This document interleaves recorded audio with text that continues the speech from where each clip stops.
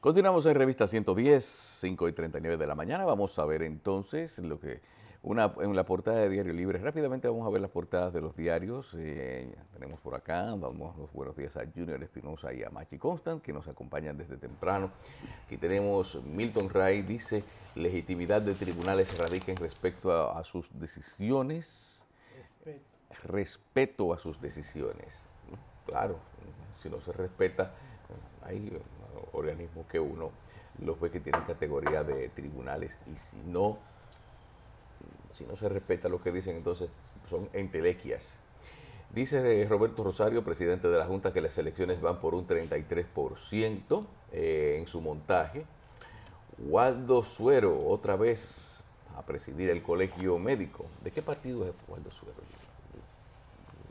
¿De qué Waldo, Waldo antes se vinculaba al Partido Reformista. Bueno, el hecho de que, eh, bueno, el hecho de que haya ganado un no peledeísta en el colegio médico ya es visto como, tú sabes que las elecciones en, en ciertos gremios son un termómetro de cómo anda la cosa. Alguna gente considera que pueden ser un reflejo de cómo anda la intención de voto por algunos de los partidos tradicionales en un momento determinado. Pero yo pienso que en el caso del doctor Suero, él es más un gremialista que un militante eh, político. Yo pienso en el caso del colegio médico eh, y sobre todo en esa candidatura, no se puede eh, medir como ocurre, por ejemplo, en el colegio de abogados, como ocurre en el AMPA. Lo que ocurre con Waldo Ariel Suero. Ariel Suero es que cuando él encabeza a los médicos. Lo encabeza como sindicato, no como... Representa a los médicos. Yo te digo que no, ahí no se puede hacer esa eh, medición eh, de fuerzas eh, políticas al interior de... Es como sindicato que lo... Fíjate que, se convierte creo en un que cerca más del 70% de respaldo tuvo. Sí. Es decir, que lo ven más como un gremialista. Sí, claro. Que, como un militante político. Que lo que quieren es que una persona que que haga huelga, que represente sus intereses, de que salga a luchar, que coordine planes de lucha. No, no, es que haga huelga, porque el objeto de un sindicato no es hacer la huelga, es defender los intereses de sus asociados. Si eso implica para lograr su conquista. Lo que te digo, Pero es que yo no recuerdo ningún intento de, que de, algo resuelto por diálogo de cuál Ariel. Lo que te digo es que él echa mano más desde el colegio a, los métodos del sindicato. Claro, claro que sí. Que debía haber alguna diferencia. Entre un colegio y un sindicato. Claro. Bueno, debería haberla. Bueno, Pero en la práctica, eh, los colegios eh, funcionan como eso, como sindicatos de la clase que representan y son los que encaminan las luchas reivindicativas. No hay una separación entre la colegiatura y un gremio sindical. Bueno, bueno, eh, entre gremialistas te veas, porque hay que recordar que la ministra de Salud, Altagracia Guzmán, también fue una persona muy activa en el gremialismo dentro de... Sí, pero eh, para ese entonces era una asociación de... Asociación, muy bien. No era, no era colegio. Y precisamente la, aquí vemos en la portada del listín otro asunto que tiene que ver con medicina, que es la otra amenaza, el virus Zika. Eh, o sea, es otra enfermedad eh, de la cual se teme su propagación en el área del Caribe y se teme también que esta pudiera llegar a República Dominicana. Zika se escribe Z-I-K-A. Eh, pues, Salud Pública define una estrategia para combatir el mosquito que transmite el mal, además del dengue y la chikungunya.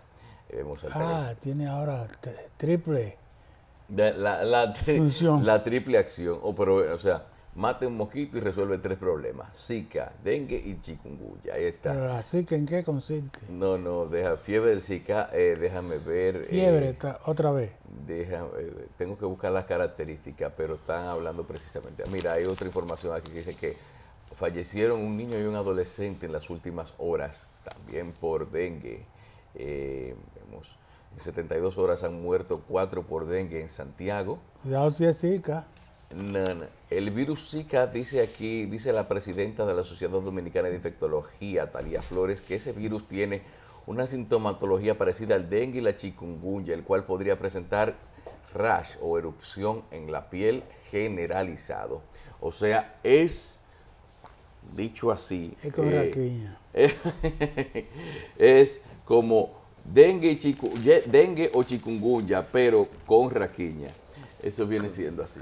¿Qué? Sí, o con salpullido o algo así, porque una erupción en la piel podría traer. Bueno, o los, sea que, mosquitos, los mosquitos son de triple acción ahora. cónchale, no de esos.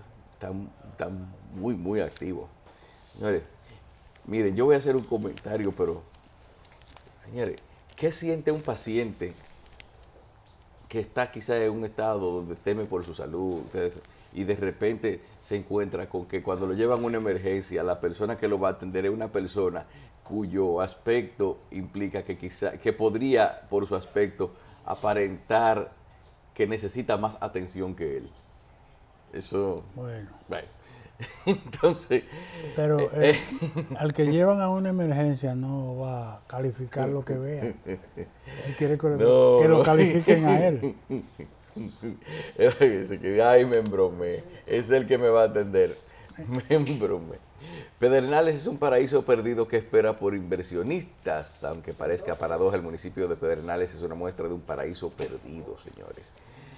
Claro, Codetel destaca sus aportes a la economía de República Dominicana durante 85 años. Entonces, Vamos a ver. Señores, vamos a ver lo que nos trae en la portada del periódico El Caribe, que hoy, eh, muy inusualmente, está encabezado por eh, la foto de portada del Caribe, es una caricatura de Mercader. Gran jefe León sentado, estar muy sentado.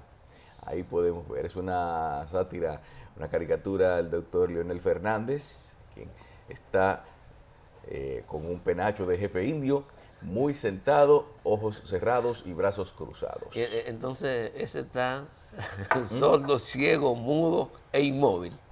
Eh, bueno, hay que ver, hay que ver cómo se despierta ese gigante. Pina dice que la integración de Leonel a la reelección es un compromiso. Eso es lo que estábamos hablando ayer, Junior, que es como cuando dice, viene, viene, y aparece gente anunciando, viene, viene, y todo el mundo esperando, ¿por dónde que viene? ¿Quién es que viene? Vamos a ver, así es.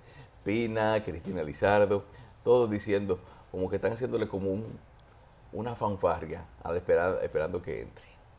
Julio César Valentín dice que hay que dejar al expresidente que defina el momento. Oh, así es. Ser maestro, o sea, ese- pero el momento que más le convenga a él o el momento que más le convenga a Danilo.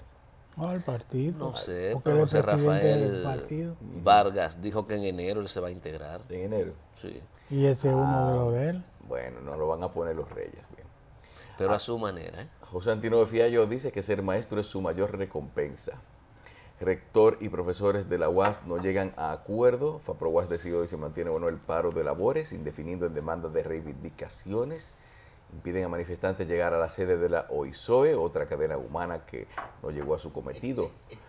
El colectivo Poder Ciudadano realizó cadenas humanas en 25 localidades. No me puedo quedar callado. Dígame.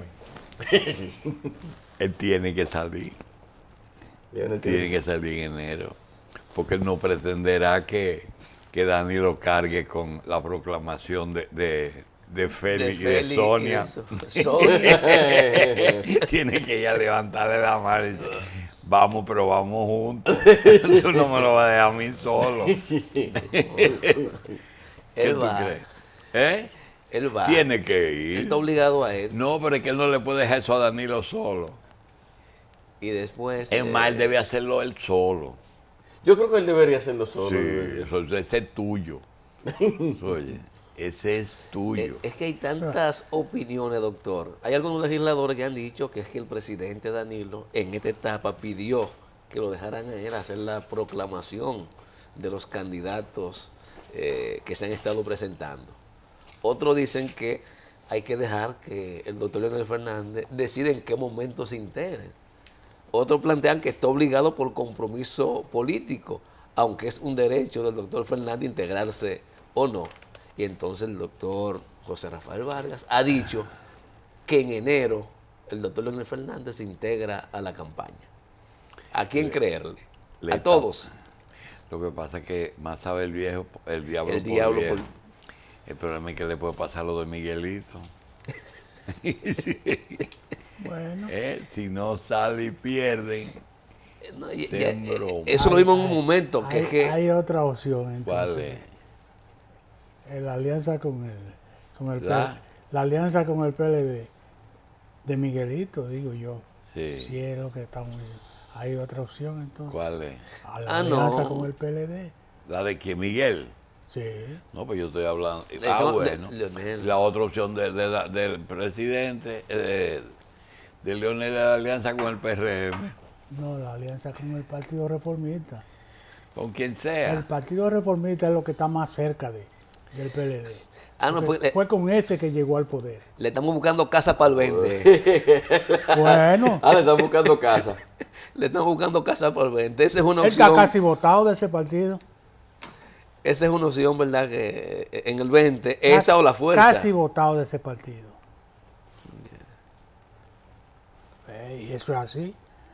Él le dice que es presidente de ese partido, pero nadie lo toma en cuenta para las decisiones básicas de ese partido.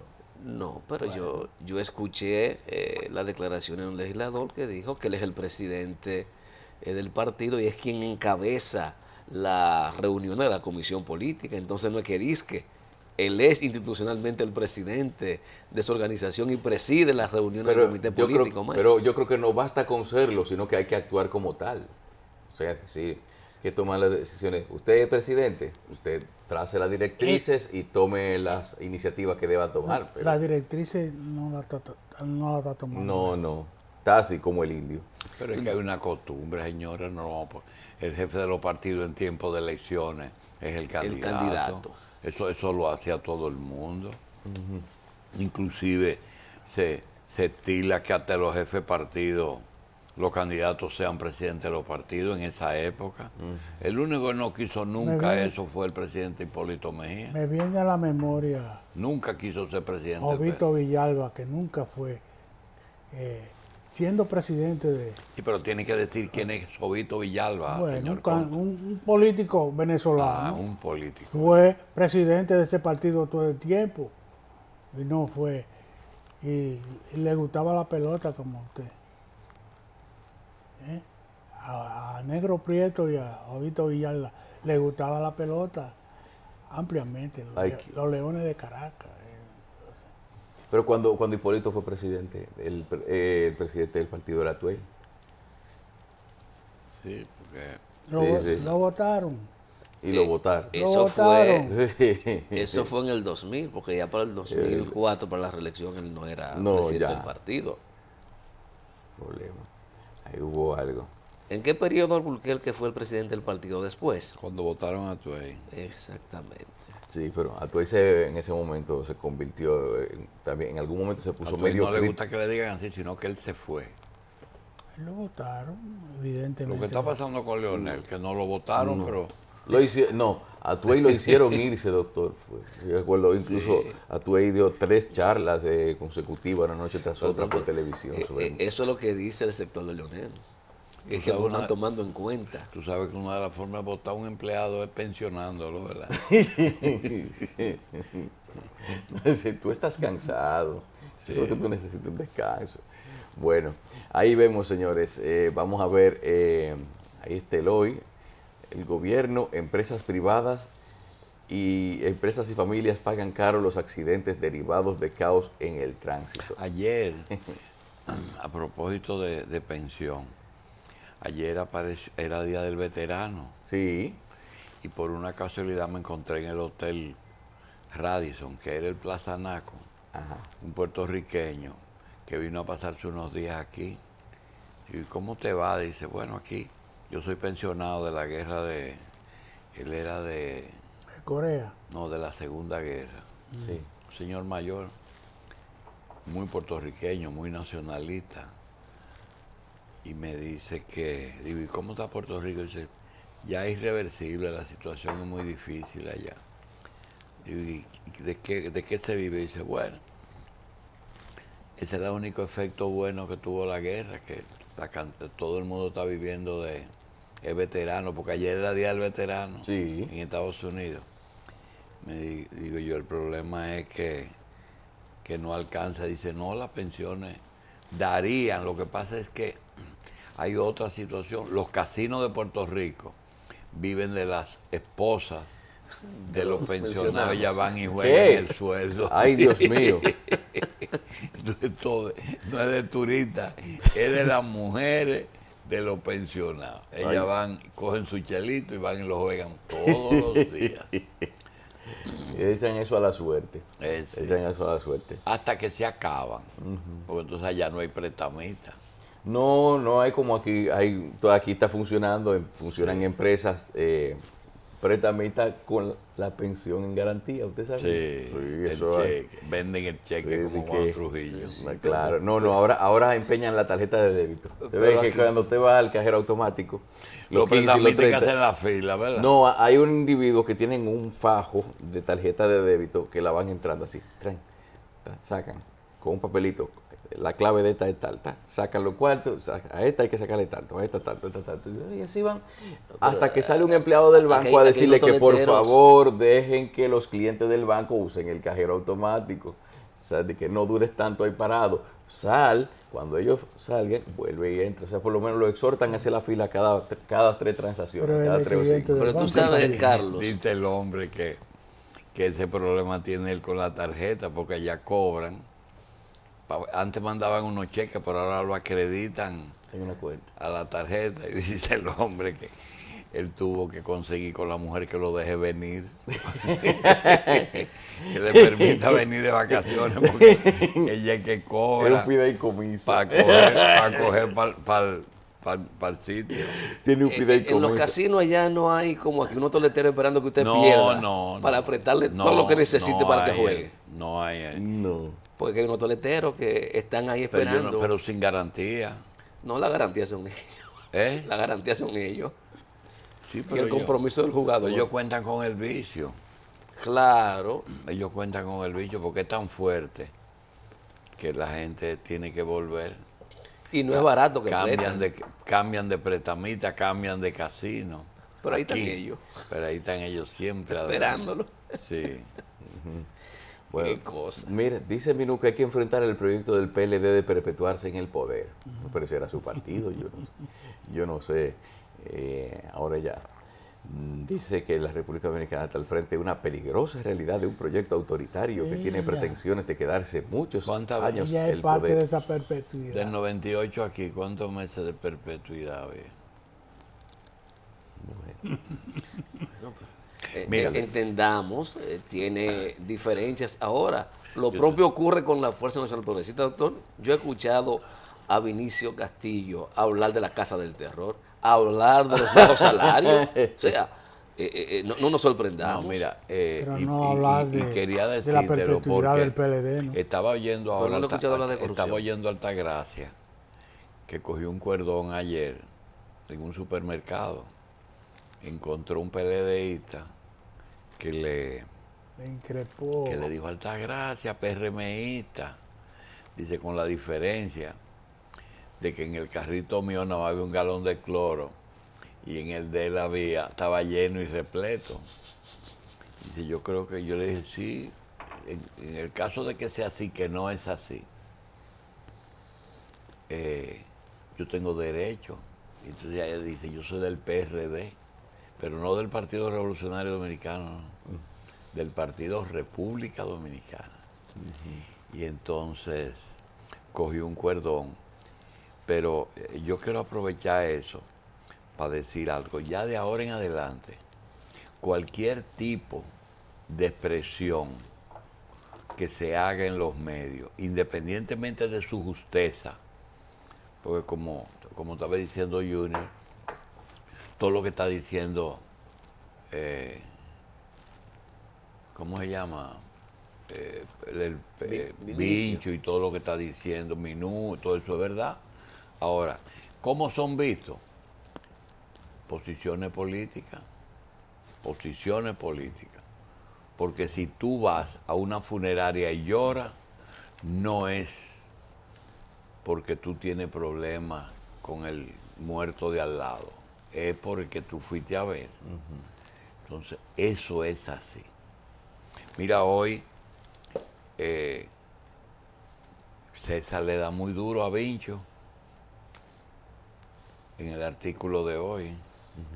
Le dice perrito chihuahua. Ay, Dios mío. Le dice perrito chihuahua, después de decir que él es su hermano. Ah, ah porque así es que él dice siempre. De chompi. No, dice que los perritos chihuahua hacen mucha bulla, pero son chiquiticos. Pero eso tiene una explicación por parte de los veterinarios que dicen que es que el perro chihuahua no es consciente de su tamaño. O sea, él, aunque es chiquito, se ve como si fuera igual de grande. Ladrando y, cubriendo una perra, tú te das cuenta que no tan consciente. Porque no, no, porque cuando ellos pasan, no, porque cuando ellos pasan a vía de hecho, ellos se dan cuenta de, sus, de, sus dificultades por motivo de tamaño. Pero mientras se trata de amedrentar, ellos se sienten que son del mismo tamaño. Ellos no tienen conciencia de que son ¿Y no será un mecanismo de defensa?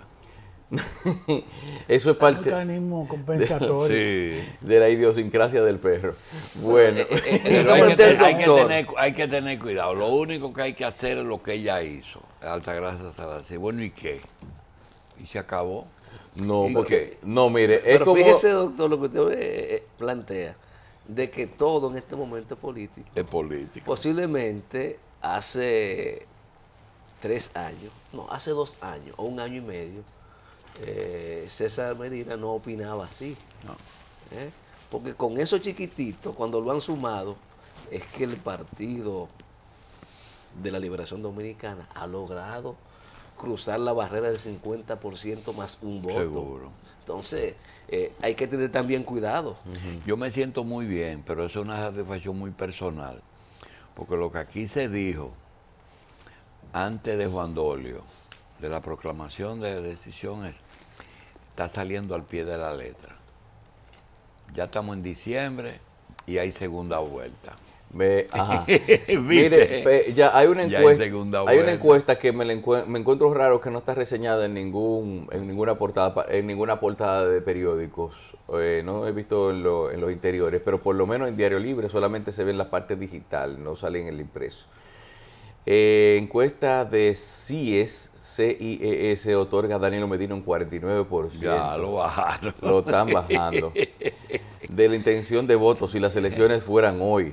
Por eso es lo que iba a sacar eh, Luis Abinader, según la encuesta de ayer. No, no, pero es para abajo que van. Mira. Sí. Eh, no, pero espérese, pero en un momentito, aquí está eh, por, la, por el muestreo, por las personas a quienes se sondearon, hizo, eh, la, encuesta hay que ver que fueron 480 entrevistados solo en el Distrito Nacional.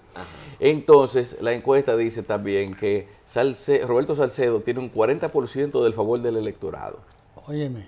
David Collado, un 34%. el que cree en encuesta a esta altura del juego, que todavía estamos lejos de las elecciones, no creen en Dios y le da un, le da un 35% de Nosotros le estamos dando mucha, mucha seguimiento. A las encuestas no, porque lo que está diciendo Manche es así. Pero le estamos dando un seguimiento porque hay algunas cabriolas que yo no como una maroma de esa de... por ejemplo, el caso de, Manuel Jiménez.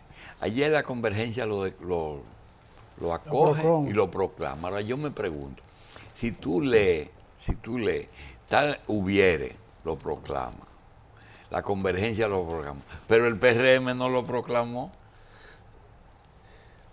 ¿Por qué? Porque, doctor, dígame qué pasa. Tampoco fue la convergencia institucional. Oiga bien. Ah, por eso le estoy diciendo que hay que, hay que buscar un traductor político. Claro, porque yo creo que al final eso se traduce, y le decía a Carlos cuando llegué esta mañana que hay que eh, reconocer las fuentes de Robert Vargas. Fue el único que anticipó el lunes que el miércoles iba a ocurrir exactamente la proclamación de Manuel. No, no, reconocerle que tenía la información. Por bueno, pero tenía información de qué, quién lo proclamó. Bueno, él se reservó, él se reservó la información. Bueno, pero ayer lo... ayer quién lo proclamó, el Frente Amplio. Por un Fue el Frente Amplio. Sí, el Partido Humanista, el, Movimiento Reverde de Juan Uvieres, el Movimiento La Multitud, ¿eh? Ese yo no lo conozco. No, esos son, e, e, ese es un movimiento eh, de jóvenes. ¿Y el PUN? El PUN, bueno, que el PUN parece que está eh, caminando cerca de Juan Ubiere, según las informaciones. Entonces, esos son los partidos que proclamaron ayer a Manuel Jiménez, pero ellos de manera individual no han comprometido la convergencia, porque si no hubiese sido la convergencia como tal, e incluirían de una vez al PRM. Ahora, que yo creo que esa proclamación conduce al final a que se deberá ser el candidato del PRM. Porque la alianza de la convergencia es ¿Para qué dan tanta vuelta para eso? No sé. No sé cuál Porque es lo que te dije está muy bien. Eh, Robert lo hizo, lo hizo bien. Lo que cayó en la fuente, cayó el partido, porque realmente era difícil de explicar. Porque hay quien tenía que estar Abinader, Hubiere y, y, todo, y todos los partidos proclamando su hombre. No le están dando un empujoncito pues, pues, desde otro. O es un sondeo, ¿eh? No, no. No, yo creo que quizás ya lo están metiendo en la tómbola junto porque hay más gente que aspira. Yo creo ¿Cuál fue el fallo con Percival que yo no entendí? Ah, que el Tribunal Supremo Electoral él ejerció un recurso de amparo para que se le aceptara eh, la inscripción como precandidato. ¿Y por qué no se le aceptó? No sé cuáles fueron las razones que habían. Lo cierto es que el tribunal acogió parcialmente el recurso y ordena que lo inscriban como precandidato en la provincia. Pero tú sabes por qué él se fue del distrito para allá, ¿verdad? Sí, él cambió. Yo creo que usted me dijo, usted dijo algo en el aire. Eran demasiado, ¿verdad? Claro, y que de aquel lado era más fácil. Bueno, él cambió su ubicación. Pero, no, fue que no fue que que ya él es candidato, ¿verdad? No, no, no, precandidato. Ah, él, tienen que inscribirlo como precandidato. aceptarlo como precandidato. Ah, ya. Porque ahora tendrá que terciar con eh, lo que aspiran, que hasta ahora que uno conozca, está en la aspiración del doctor Edgar Contreras, eh, se dice que Juan Uvieres va como senador a terciar por la senaduría. Bueno, y Percival, luego no, no, no escucho es nadie más de aquel lado. E igualmente, ¿quién es el precandidato? ¿Quiénes son los precandidatos a la alcaldía por el PRM? No hay mucho tampoco. Es decir, que Manuel Jiménez tiene todas las posibilidades de ser el candidato de la convergencia y de hecho del PRM. Y hay que reiterar, doctor, que será una tarea difícil. Manuel tiene el compromiso por cualquier plataforma que vaya de ganar. Es la única forma de justificar que sí valió la pena dar el paso que ha y la decisión que tomó. De lo contrario, sería una... Y Contreras se va también. ¿Qué? Domingo no se va. No, no, no, no, no. Porque la situación de ellos son dos situaciones totalmente diferentes. Eh, Domingo Contreras no había condicionado su permanencia en el PLD a que sea candidato o no. En el caso de Manuel, sí lo había eh, condicionado y cuestionando el método que se utilizó para eh, la designación del actual eh, candidato de ese partido. Entonces, la lucha va a ser incómoda, porque decíamos el día pasado que no solamente se va a enfrentar a Juancito, se va a enfrentar al candidato del presidente Danilo Medina. Y cuando hay ese tipo de desprendimiento, el esfuerzo siempre es mayor y se hace todo lo humanamente y económicamente posible para decir el partido tenía razón. Ganó el candidato que entendía la organización, que garantizaba el triunfo. Ya estaban explicándome también el hecho de que el jueguito de la del fraccionamiento, Danilo no lo quiere jugar. Danilo, sean malos, sean buenos los candidatos, prefiere que todo el mundo, que todo el mundo vote por sus por, por, sus aliados. Es decir, si tú eres, si tú quieres que el si él quiere que voten por él, PRD, PLD y, y lo que sea, pero que no diga que por este en la presidencia y por aquel en la oposición porque eso trae mucha confusión al votante de cierto nivel. Pero a mí me gusta, por ejemplo, la, la actitud de Fello Suberví, por ejemplo. ¿Qué dice? Bueno, Fello Suberví ha ganado y ha perdido también. O sea, reiterarse, si es una vocación que tiene, se reitera como candidato en unas próximas elecciones. Eh, eh, pasó Allende por seis. Fello, me recuerda a Balaguer en el 2000. Yo nunca pude asimilar esa candidatura. ¿Cómo eso todo, ese hombre en el 2000, después de lo del 96, optó de nuevo? Y no fue en el 2004 que creo que se murió. Excúsenme, una excusa válida, ¿verdad? No puedo ahora. No, voy ahorita. eso Pero insistir, si tienen vocación para eso, insistan.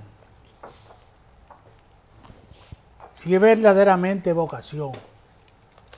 Domingo Contreras, eh, precisamente, tiene que volver a, si, si fracasa en esta oportunidad, tiene que volver a, optar por, bueno, ya, ya él no es, no, es ni siquiera precandidato, porque ya el PLD tiene un candidato oficial, que es Roberto Salcedo. Entonces, lo que ocurre con Manuel es que eh, Manuel entendía que era su oportunidad y parece que en algún momento eso se había eh, barajado entre ambos precandidatos. son muchachos jóvenes que pueden esperar un poco y volver otra vez, una y otra vez. El problema es que el tiempo se agota. Pero, ah, sabes cuántos son que se han, dejado su curul de, y que inclusive votaron por la revisión que se movieron? ¿Qué quieren ser han, han, llegado casi a, cuatro. sí, claro. Y quizás seis.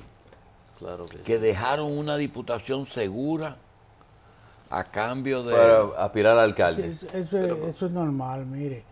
Después de la revolución, todo lo que participamos en, responsabilidades directas en los partidos de izquierda o, lo que sea, entendíamos que a, la vuelta de la esquina estaba la revolución. Y eso es un problema mental. No, no, no. A diferencia de, por ejemplo, el ejemplo de Allende es, excelente. ¿De quién? De Allende. Seis veces optó por participó en unas elecciones y perdió cinco veces. Pero, hay otro caso peor, de allá de la Torre, que nunca ganó. Bueno, él, tampoco se, postuló mucho. ¿no? ¿no? se postuló tanto. No, él ponía, Y Lula perdió varias veces, ¿verdad? Lula perdió varias veces. Vamos a hacer una pausa, señores. Vamos a recordarles que Barbison. Bien, eh, continuamos con Revista 110, son las 6 y 16 de la mañana.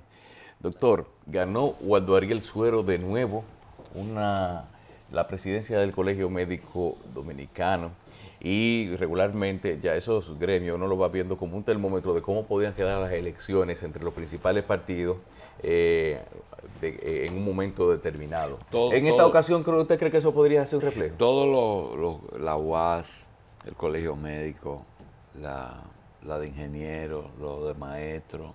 La UAS en huelga. Todo lo que... esos son los índices, pero en el caso de Ariel, yo lo que estoy esperando es que rompa su propio récord. ¿Cuál es el récord? ¿Cuál? ¿De huelga? tiene, y con un problema que va a enfrentar a otra que tiene más, más huelga que él. Ah, que rompa el récord de, el, suyo y el de Tati. Tati él tienen Realmente eso es penoso. Bueno, y lo ¿Tú sabes cuál es lo bueno de Ariel Suero? ¿Qué Que hay sectores pro gobierno que lo apoyaron. ¿Qué? Sí, señor. Yo le decía a Carlos, doctor, que en esa candidatura no se puede hacer el análisis de la medición política. Porque es que todo, la, estoy hablando del 72% de los votantes. no, no es demasiado. Porque lo ven más como eso, como un representante de su sector, que como un político.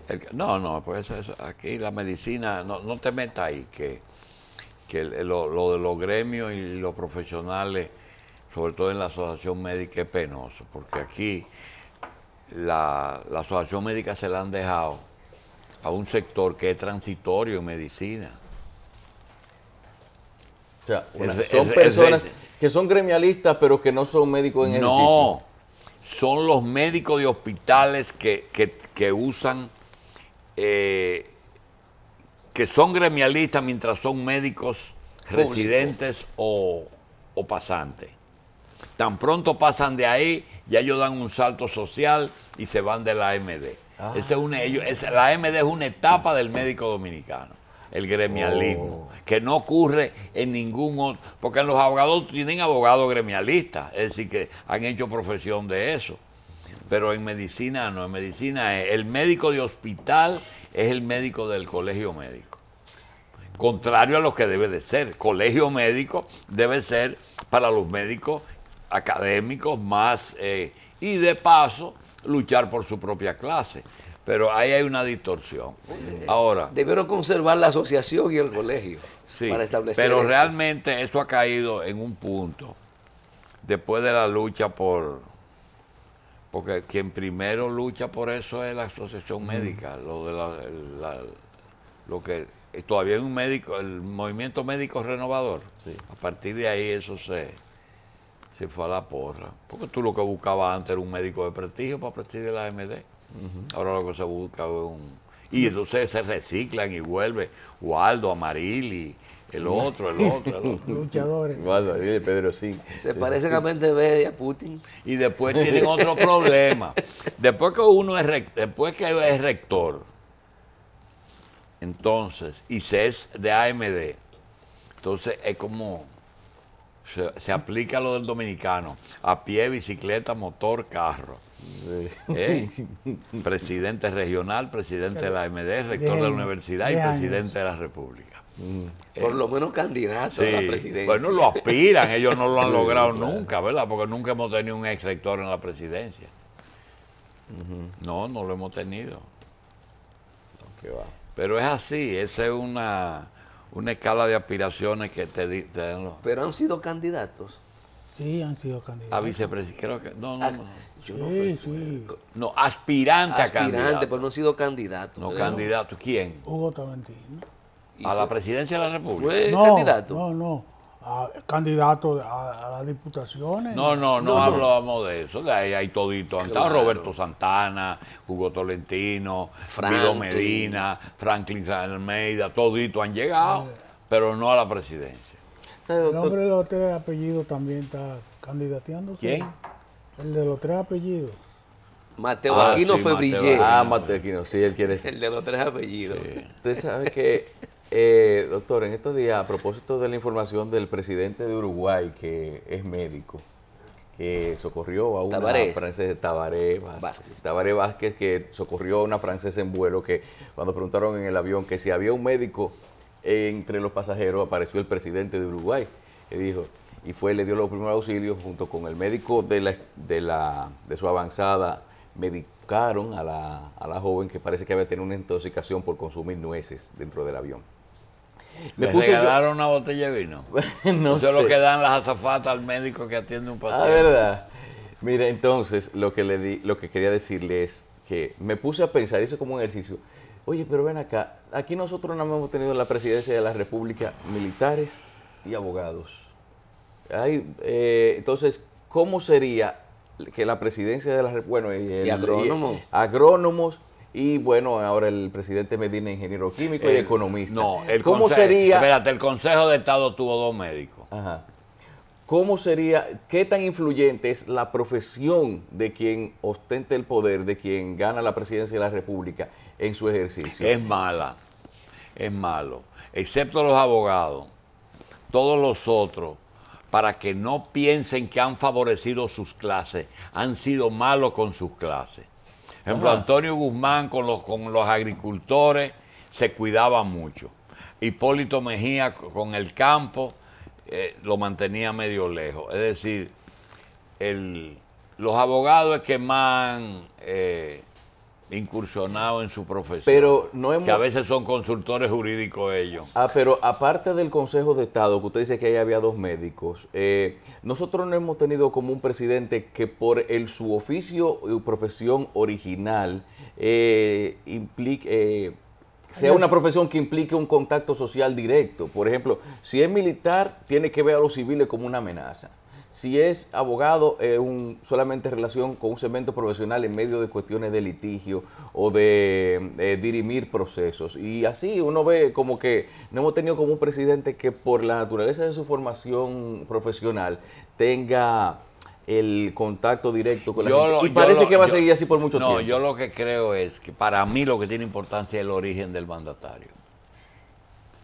El origen social. El origen social tiene más importancia que la profesión. Por ejemplo, el hecho de que una de las pocas cosas buenas que nos da el PLD es que sus dos presidentes tenían un origen verdaderamente eh, popular. Son gente que vienen de las entrañas de este país. Naturalmente a veces se han divorciado de esos principios. Pero, pero Bosch venía de las entrañas del país. Sí, pero no, pero no es lo mismo venir de Arroyo Cano que de La Vega. Es lo que te quiero decir. Ni haber estado en, el exilio, ni haber sido un Jiménez Grullón. Jiménez Grullón era médico. Sí, pero no fue presidente. Sí, porque Bien. hay subdivisiones de clases dentro de las provincias y en La Vega son muy marcadas incluso al día de hoy. Señores, vamos a una pausa. Tiene que ver también con, los pueblos donde vienen. Porque la mente rural en la infancia pesa mucho. Y perdonen. Huilla y el cercado dejaron huellas muy perecederas. Volvemos en breve con Feliz Decena y los deportes.